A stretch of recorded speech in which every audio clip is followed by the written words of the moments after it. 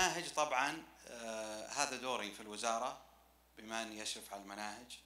طبعا تحقيق برامج تحقيق الرؤية ترجع إلى الأهداف الاستراتيجية لتحقيق الرؤية رؤية المملكة 2030 وكان هذا المنطلق حقيقة. طبعا الشريحة هذه تختصر رحلة آه، تطوير المناهج.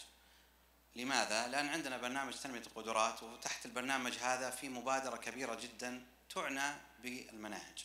أهداف المستوى الثالث تعزيز قيم الوسطية والتسامح تعزيز قيم الإتقان والانضباط تعزيز قيم العزيمة والمثابرة غرس المبادئ والقيم الوطنية وتعزيز الانتماء الوطني إلى آخر الأهداف كل فصل نراجع المناهج ونتأكد أن هذه المعايير تعكس داخل المناهج. عام 2012 كان بداية يعني في يعني أعدت مصفوفة مفاهيم حقوق الإنسان في المناهج الدراسية ويدخل تحتها التسامح.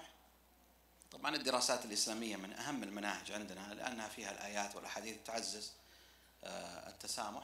فيه طبعا درس كامل أخذ أخذنا منه مقطع عن مقولة خادم الحرمين الشريفين يحفظه الله إننا ماضون بحول الله تعالى على النائب بلادنا ومواطنينا عن الفتن والقلاقل والاحتقانات الطائفية ونؤكد رفضنا التام للتصنيف المذهبي والطائفي إدراكا منا لمخاطره على اللحمة الوطنية في بلادنا وهذا أساس حقيقة.